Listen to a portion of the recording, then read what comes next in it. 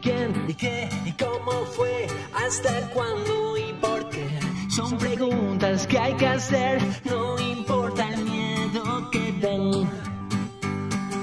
Vamos, diga dónde fue el niño que no se ve. Lo hicieron desaparecer con la urna mágica también.